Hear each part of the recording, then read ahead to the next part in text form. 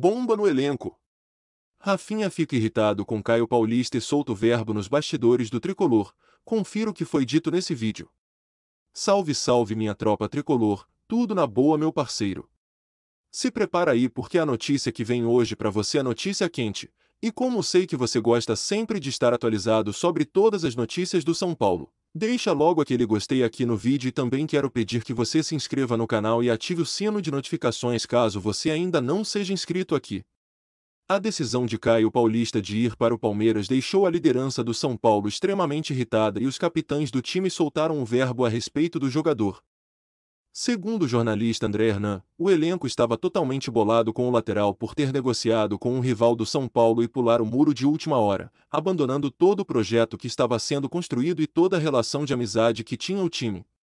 O jogador saiu do São Paulo sem dar satisfação e em momento algum ele disse que estava negociando com o Palmeiras, apenas pulou o barco sem avisar a ninguém, pegando todos de surpresa. O presidente Baby da Independente falou muito sobre o jogador.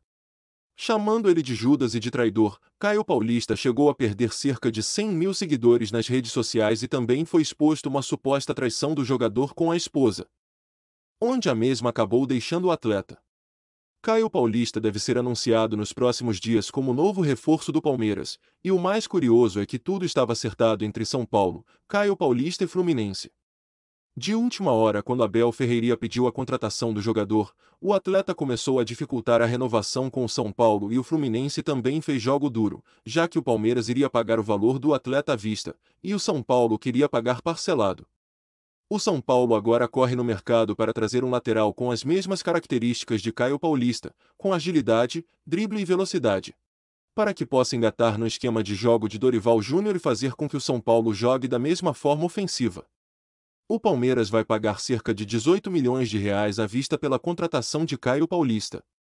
A torcida do São Paulo ficou extremamente revoltada com a atitude do jogador, pois no Fluminense ele mal jogava e chegou no São Paulo e conseguiu engatar, mas logo em seguida abandonou o clube e seguiu para o rival.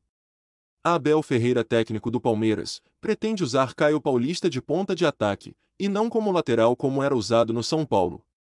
Mas quero saber a opinião da torcida do São Paulo, quero saber se você considera Caio Paulista um traidor igual Judas. Comenta aqui nos comentários a sua opinião sobre o caso do lateral e me diz também quem você acha que seria um bom reforço para a lateral esquerda do São Paulo.